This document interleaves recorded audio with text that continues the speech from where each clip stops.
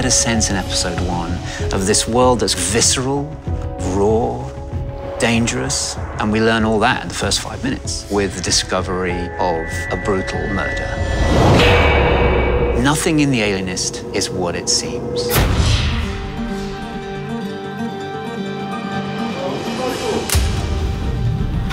Action.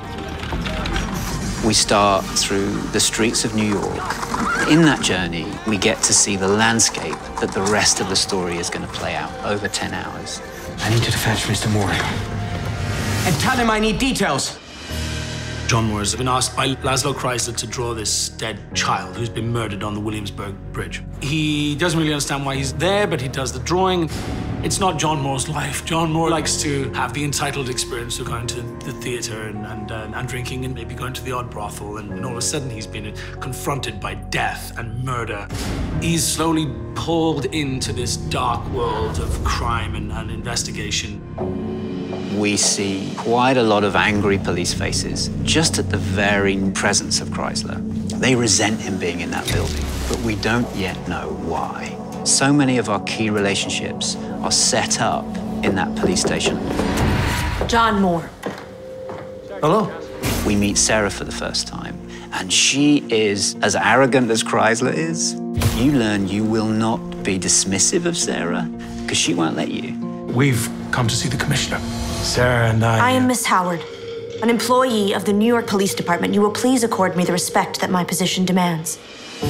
I really put a lot of importance on that scene because it sets up the tone for the rest of the show, and she meets Kreizler for the first time. So it's a lot of really important things all in this one moment.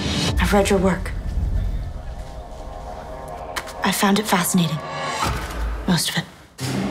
I think right away Kreizler realizes that he is meeting a woman who is a perfect ally, a woman who can deliver us information, who has high ambitions than just being a secretary in Roosevelt's office. Teddy Roosevelt in our story is much different uh, than the icon that is on Mount Rushmore. In this story, he's really struggling with the corruption in the police department. A child is dead. A child exploited by you and your brothel. I want Paresis Hall shut down. Shut down? You have until 6 o'clock today. It's not until you get to the final scene that you realize the level of passion at which Kreizler's willing to run and face this killer. He chases into that building knowing that it's the beginning of an extraordinary adventure. The killer leaves Kreizler a message, and as far as Kreizler's concerned, the game is on. Because the killer has reached out to Kreizler. I must follow this wherever it goes, even if it leads me to the darkest pit of hell. The Alienist, only Mondays at 9 on TNT, and watch anytime on demand and on the TNT app. Thanks for watching. Subscribe to TNT's YouTube channel for more content from The Alienist.